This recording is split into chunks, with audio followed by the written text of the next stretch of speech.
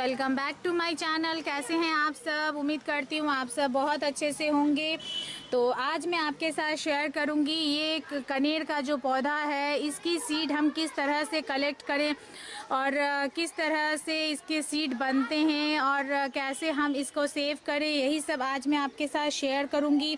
और कनेर का जो पौधा होता है, इसके बारे में पूरी डिटेल्स मैं ऑलरेडी आपके साथ शेयर कर चुकी हूँ। कि ये कितना हार्डी प्लांट है। बहुत ही इजीली इस प्लांट को हम ग्रो कर सकते हैं। बहुत ही कलर वैरायटी में ये प्लांट आता है और बहुत ही इजीली ग्रो हो जाता है। बहुत बहुत बहुत कम मेंटेनेंस की, की ज़रूरत पड़ती है इस प्लांट को। मैं अगर कहूँ तो ये कह सकती हूँ कि बगैर किसी केयर बगैर किसी मेहनत और इस प्लांट को बहुत ही आसानी से ग्रो कर सकते हैं।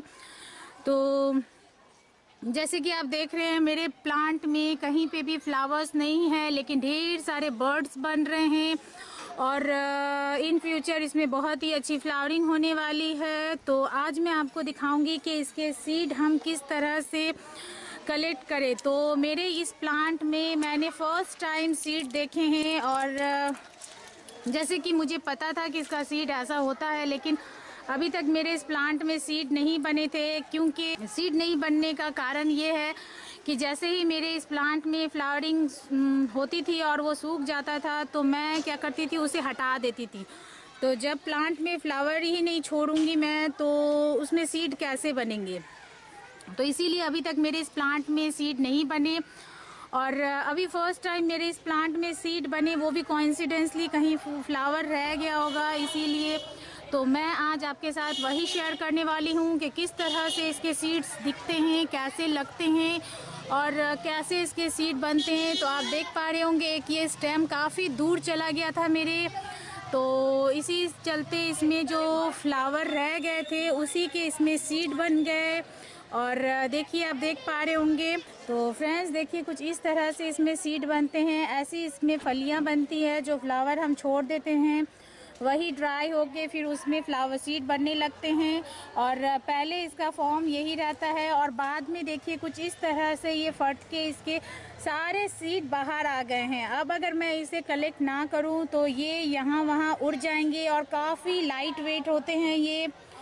और बिल्कुल रुई की तरह देखने में होते हैं। जैसे मैं कहूँ, जैसे अडेनियम के जो सीड होते हैं, बिल्कुल उसी तरह दिखते हैं इसके सीड तो काफ़ी हल्के होते हैं और मैंने भी फ़र्स्ट टाइम ये सीड मैं देख रही हूँ, इस तरह की फलियाँ जो होती थी, मैं तो इन सबको हटा देती थी।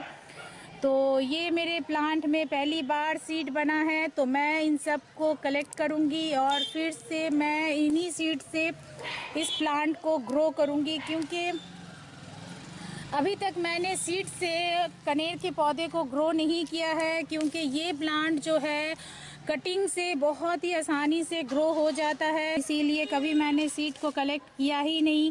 और सीड कलेक्ट करने की मुझे ज़रूरत भी नहीं पड़ी क्योंकि इजी टू ग्रो प्लांट है बाय कटिंग तो मैंने इस प्लांट को कटिंग से ही ग्रो किया था। तो अब मैं जैसे कि ये सीड कलेक्ट कर चुकी हूँ तो अब मैं आगे आपके साथ शेयर करूँगी किसी वीडियो में कि इस सीड को किस तरह से हम लगाएँ और किस तरह से हम सीड से प्लांट ग्रो करें। तो काफ़ी खूबसूरत सीड दिख रहे हैं। जितने इसके फ्लावर सुंदर हैं, वैसे ही इसके सीड काफ़ी सुंदर दिख रहे हैं, खूबसूरत दिख रहे हैं। तो अब मैं इसे करूँगी कलेक्ट और नेक्स्ट किसी वीडियो में मैं आपके साथ ज़रूर शेयर करूँगी कि इसकी सीडलिंग हम कैसे करें और कैसे इसको ग्रो करें, क्योंकि ये समर प्लांट है। और इस प्लांट को या तो कटिंग से लगाइए या सीड से लगाइए और दोनों का ही सही टाइम यही होता है। और इसी टाइम इसे लगाया भी जाता है चाहे कटिंग से लगाएँ चाहे सीड से लगाएँ। तो मैंने जो ये प्लांट तैयार किया है मैं आपको जो दिखा रही हूँ ये मेरे आ, कटिंग से ही लगाया हुआ है। अब मैं आपके साथ आगे शेयर करूँगी सीड से लगाना। तो ये खूबसूरत से सीड अब मैं इसे किसी चीज़ में रख दूँगी और कुछ ही समय में मैं इसको ग्रो करूँगी और आपके साथ मैं इसका वीडियो भी ज़रूर शेयर करूँगी। तो यही थी आज की जानकारी इस कनेर के पौधे के सीड के बारे में। तो उम्मीद करती हूँ आपको पसंद आई होगी और पसंद आए तो प्लीज़ इसे लाइक करिए और शेयर करिए।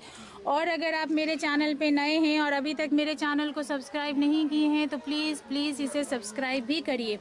मिलते हैं अगले किसी वीडियो में नई जानकारी के साथ। Okay then bye